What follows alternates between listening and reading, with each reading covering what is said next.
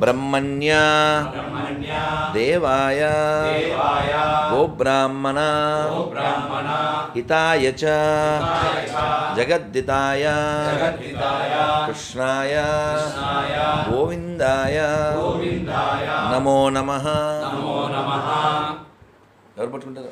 Somebody anybody okay మనం కర్ణాటకలో ఉన్నాము. మీరు చెవులు మాత్రం వాడాలని కోరుకుంటున్నాను. ఇంగ్లీష్లో షర్ట్ తమిళంలో వాయుమడి. సో ఎంతోమంది ఇక్కడ ఉద్యమకారులు పుట్టారు.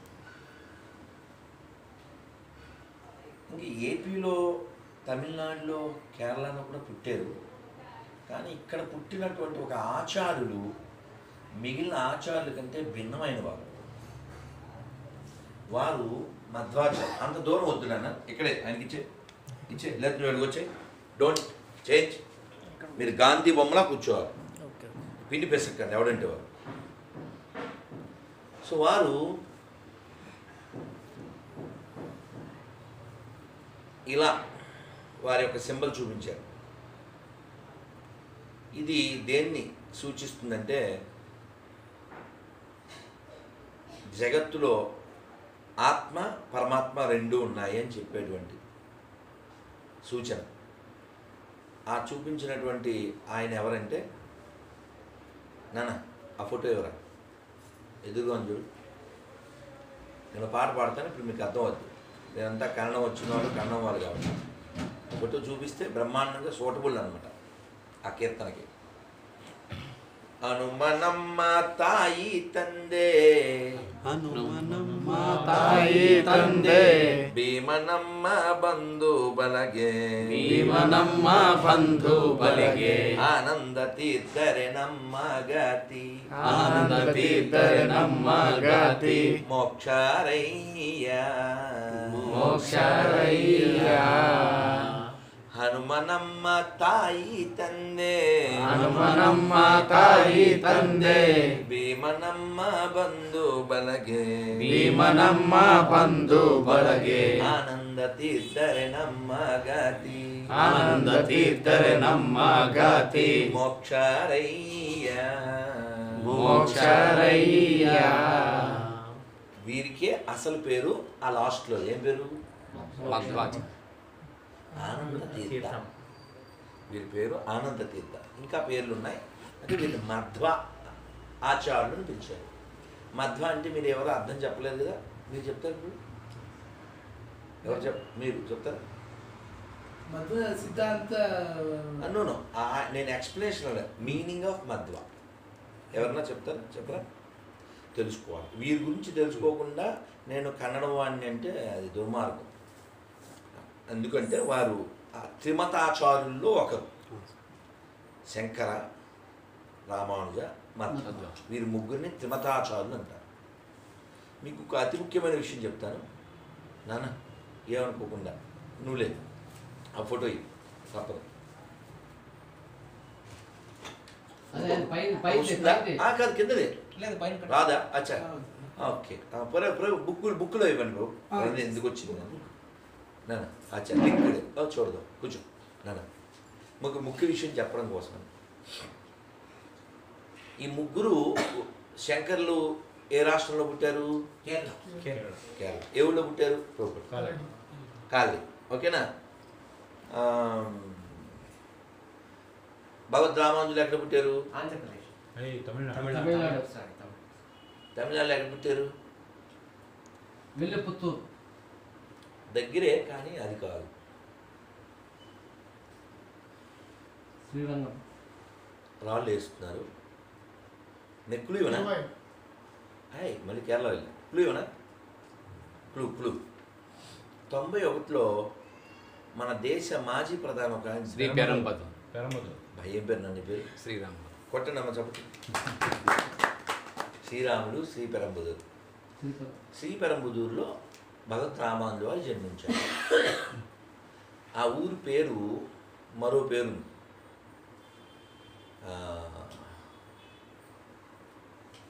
దాని పేరు భూతపురి. దాన్ని భూతపురి అంటారు. వారు తమిళనాడులో అక్కడ పుట్టారు. శంకర్లేమో కాలనీలో. పుట్టారు. మన మధ్వాచార్యులు ఎక్కడ పుట్టారు? పాజక క్షేత్రం. కర్ణాటకలో పాజక క్షేత్రంలో పుట్టారు. వారు ఎవరి అంశ? సాక్షాత్ భీమ హనుమ భీమ మధ్వ. మధ్వ. మీరు వీరి యొక్క వివరాలు తెలుసుకోవాలనుకుంటే ఒక గొప్ప కన్నడ గాయకులు మహానుభావుడు అది గొంతు కాదు అమృత భాండం అది విద్యాభూషణ్ యాస్ కొట్టాలి అల్లుడు. అద్భుతమైన గాత్రం.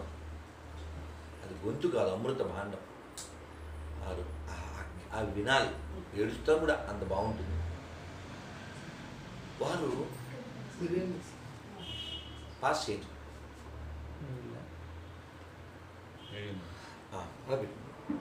వారు చాలా గొప్పగా కీర్తన చేశారు. ఆ కీర్తనే నేను ఇందాక పాడాను. ఇంకా చాలా ఉన్నాయి. అయితే ఇప్పుడు ఈ హనుమంతుడి యొక్క అంశగా భీముడు భీముడు హనుమంతుడు ఇద్దరూ కలిసిన అంశగా మధ్వాచార్యులు వచ్చారు. ఇంతకీ మన టాపిక్ ఏంటి? మధ్వ అంటే మీనింగ్. ఎవరు చెప్పలేదు? మన టాపిక్ మొదలైంది అక్కడ. మా మాయావాదము. ధ్వ ధ్వంసం చేయవాడు. మధ్వ అంటే మాయావాదాన్ని ధ్వంసం చేయవాడు. ఇంకొకల మాయని ధ్వంసం చేయవాడు రెండు. మాయావాదం అంటే ఏమిటంటే మనం అందరం తెలియక ఏదేదో మాట్లాడేసుకుంటూ ఉంటాం. అహం బ్రహ్మాస్మి. ఎవరు చెప్తారు మీనింగ్? నేనే బ్రహ్మ. నే- నేనే బ్రహ్మ. మీకు తెలిసింది చెప్పండి తప్పైతే ఏం నేనే నమ్మకం బ్రహ్మ. మళ్ళీ సరి చేసుకుంటాం. నోరైతే వెక్కడు ఇలాంటప్పుడు ఇది కాన్సెప్ట్ ఉంది ఈ ప్రపంచంలో. మన భారతదేశంలో. ఐఎమ్ ద గాడ్ సినిమాలు కూడా తీశారు అహం బ్రహ్మాస్మి నేనే దేవుడిని వాస్తవానికి చూడండి దేవుడు అంటే కాన్సెప్ట్ దాని వివరణ ఏమిటి? మన శాస్త్రాన్ని పట్టుకునే జీవించాలి. శాస్త్ర వ్యతిరేకంగా జీవించుకోవాలి. ఎందుకంటే భగవద్గీతలో పద్దెనిమిది అధ్యాయం చాలా క్లియర్గా అయిపోయారు యశాస్త్ర విధిముత్సుజ్య వర్తతే కామకారత. శాస్త్ర విధులను అనుసరింపని వాడు సుఖశాంతులు పొందలేడు పరమసిద్ధిని పొందజాలడు.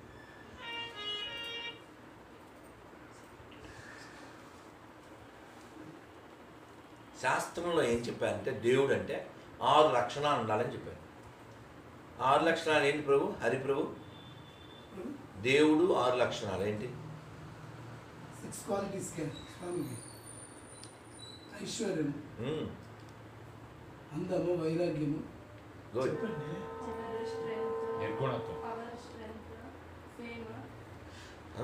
గుడ్ ఇంగ్లీషు తెలుగులో కలిపి చెప్పారు. బిగ్ హ్యాండ్ టు తండ్రి కూతురికి. దీన్ని సంస్కృతంలో ఒక శ్లోకంలో చెప్పేస్తాను. ఇది పరాశర మహర్షి చెప్పారు. ఐశ్వర్యస్య సమగ్రస్య వీర్యస్య యశస్య శ్రియ జ్ఞాన వైరాగ్యోషన్నాం భగయితి గణ. ఇవి ఆరు లక్షణాలు భగవంతుడికి ఉంటాయని పరాశర మహర్షి విష్ణు పురాణంలో చెప్పారు. భగవంతుడు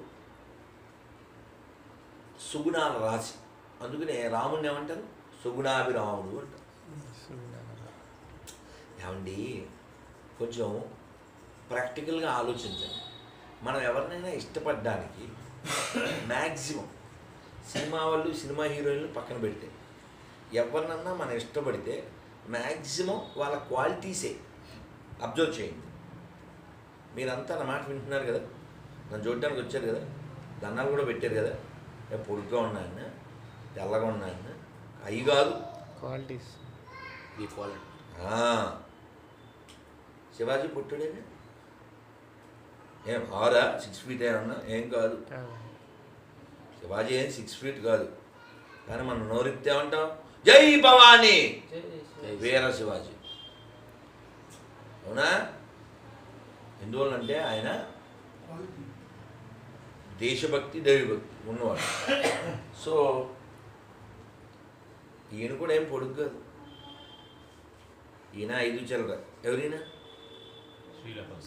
శిల ప్రభుపాద్ ఇస్కాన్ అనే సంస్థ స్థాపించి ప్రపంచమంతా సనాతన వైదిక విధానాన్ని అందరికీ పరిచయం చేశారు. ఒకళ్ళు ఎప్పుడో లాంగ్ ఎగో గుంటూరు వాళ్ళు ఏదో ఫోన్లో కలిస్తే వాళ్ళు అన్నారు స్వామి మేము ఆ మధ్య ఫిజీ వెళ్ళాం. ఫిజీ. ఆ ఫిజీలో మాకు చాలా ఆకలిస్తుంది ఆ ఫిజీలో ఎక్కువ అంతా చేపలమయం ఫిష్ ఏం తినాలో తెలియదు అప్పుడు ఇస్కాన్ రెస్టారెంట్ కనపడింది. అమ్మయ్య ప్రాణాలు లేచి వచ్చింది సో సో ఈ వెజిటేరియనిజం అనేది బాగా స్ప్రెడ్ అయింది. ఆఫ్టర్ ప్రభుపద ఎస్టాబ్లిష్ ఇస్కాన్ అలాగే గో సంరక్షణ వరల్డ్ వైడ్.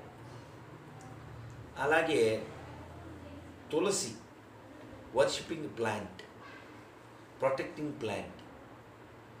పాశ్చాత్య దేశాల వాళ్ళకి వాటిని భోగభూమి అంటారు.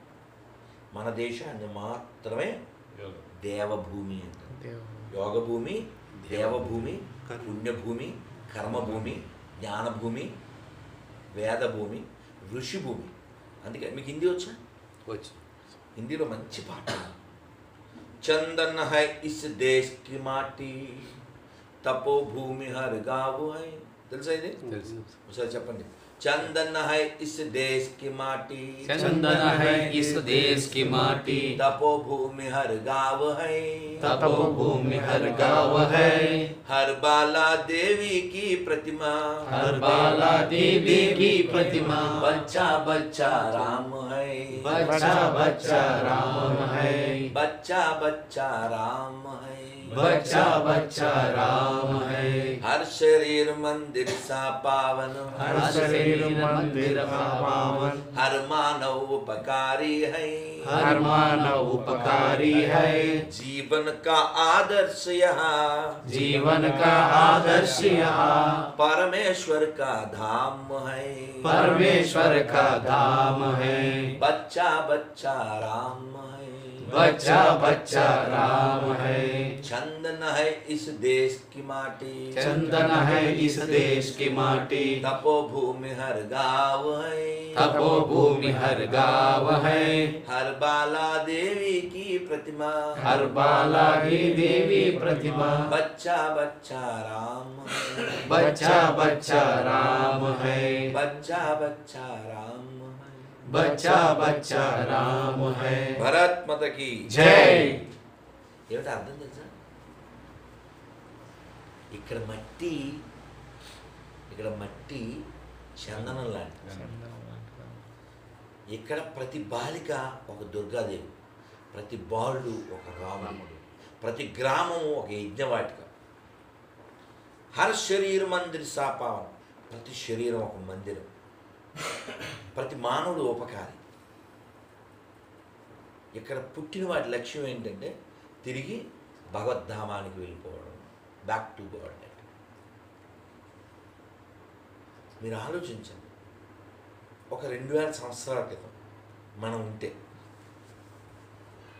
we no need to fight with other religions ఆలోచించండి. నేను ఎవరితోనో డిస్కషన్లో చెప్పాను. ఇదే రాధా మనోహర్ రెండు వేల సంవత్సరాల క్రితం పుడితే. ఇలా ఇతరుల విషయంలో స్పందించి రియాక్ట్ అయ్యి ఇన్ని తిట్లు తినాల్సిన పరిస్థితి ఉండేది కాదు. ఇన్ని అవమానాలు పొందాల్సిన పరిస్థితి లేదు? ఇన్ని ప్రయాణాలు చేసి మోకాళ్ళ నొప్పులు షుగర్లు తెచ్చుకోవాల్సిన పని లేదు. ఈ తలనొప్పులు ఉండేవి కాదు. ఎందుకు? ఎందుకంటే ఇప్పుడు అప్పుడు ఉండే అవి లేవు కాబట్టి. ఓ రెండు వేల సంవత్సరాల క్రితం పీ వన్ పీ టూ లేదు. అంటే తెలుసా? తెలుసు. చెప్పండి పాషండం వన్ పాషండం పాషండము అంటే ఏంటంటే మీకు వివరం చెప్తాను. నాస్తికో వేద నిందక అంటారు. అవైదికమైన ప్రతిదీ పాషండమే వేదానికి విరుద్ధమైనది ప్రతిదీ పాషండమే వేదం చాలా చెప్పింది. అది అపౌరుషేయం. అంటే ఏమిటి ఎవరి చేత లిఖించబడింది కాదు. ఒక జర్మనీ సైంటిస్టు ఒకే శ్లోకం. యజ్ఞమీలే పురోహితం అని ఋగ్వేదంలో ఒక శ్లోకం. ఆ శ్లోకాన్ని తీసుకుని కొన్నేళ్ళు పరిశోధన చేసి ఇరవై ఆరు ఇరవై ఆరు అక్షరాలు అంతే. మ్యాక్సిమం ఆ? మ్యాక్సిమం నో నో అతను వేరు. అతను ఓకే ఆయన ఇంగ్లీష్లో రాశాడు ట్రాన్స్లేషన్. ఆయన అన్నారు అసలు మానవ మాత్రుడైతే ఇది రాయలేడు.